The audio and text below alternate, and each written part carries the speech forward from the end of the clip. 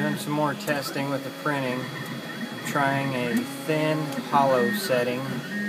Once the head gets back here, I'll get in here and see it's hollow. One thing when you uh, do hollow, put plenty of glue down. This corner lifted up on me.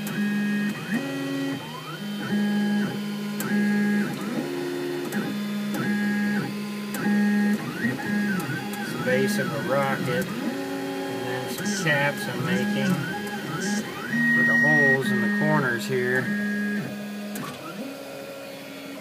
Keep, keep it uh, plastic going down in there.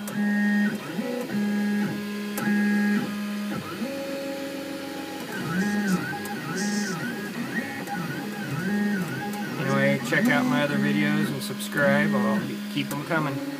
Have a blessed day.